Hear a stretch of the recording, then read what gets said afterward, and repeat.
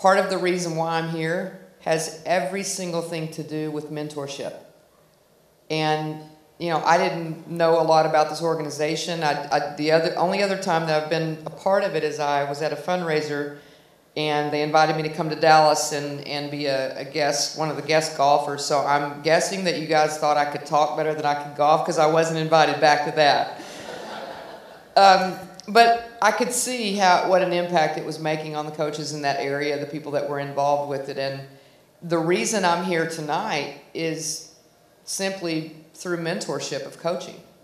It's a it's a lifelong thing if you're interested in growing people. And a perfect example is why I'm here tonight. Johnny Jones is Trennis's uncle, and I worked with Johnny. Great, great, great person.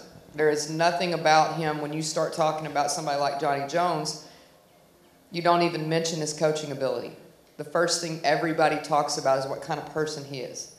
Uh, I had a year of experience at North Texas working alongside Johnny, and it's been five years since I've seen him.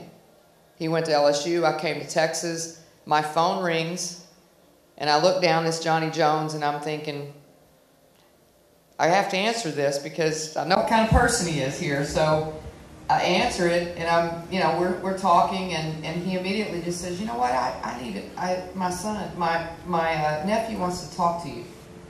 And that's how this happened.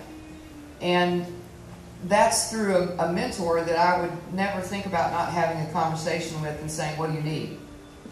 Because he was, he was not only a coworker of mine, but a men's basketball coach that took time to talk to a women's basketball coach. And that meant a lot to me.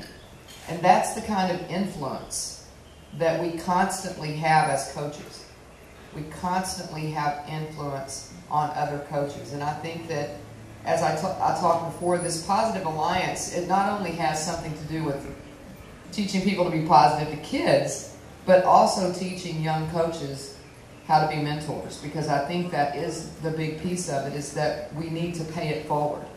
And it, it's, a, it's a huge, huge um, challenge of mine to continue to do it because so many people had an influence on me as a coach.